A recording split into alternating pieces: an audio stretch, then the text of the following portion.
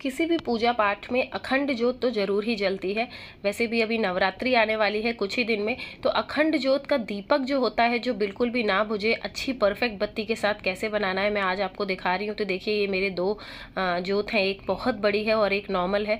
तो सबसे पहले रुई की बाती को लंबा गोल कर लेंगे। आजकल ये रेडीमेड बत्तियाँ भी आती हैं और सबसे पहले बत्ती को सेट कर लेंगे और जितनी बड़ी रखनी है, ऊपर से बाद में कट कर देंगे और उसके बाद इसको अच्छे से पेच में कस देंगे। अब जितनी बाती हमें नीचे रखनी रखनी है, मैंने उतनी उसमें छोड़ दूँगी और बची हुई मैं इसको कट कर दूँगी।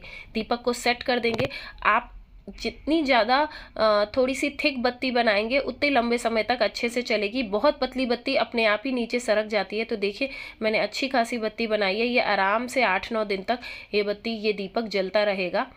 तो देखिए, इस तरीके से इसको फोल्ड कर देंगे और सेट कर देंगे। हमारा दीपक अखंड जोत की बत्ती तैयार है और बची हुई जो दूसरी है, वो मैं बड़े वाले दीपक में बना के रख दूँगी। Thank you